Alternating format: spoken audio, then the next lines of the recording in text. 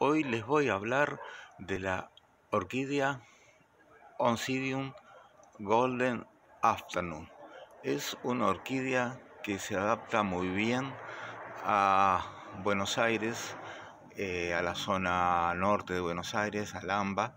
Eh, yo la tengo en exteriores, eh, protegida de las heladas.